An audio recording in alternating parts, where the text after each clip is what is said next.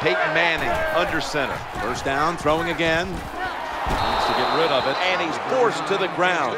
I don't know who to blame here. Was it a great play by the safety getting the sack on the quarterback, or the quarterback just not paying attention, seeing him coming? And if you see him, you've got to change the play or get rid of the football a lot quicker. I think when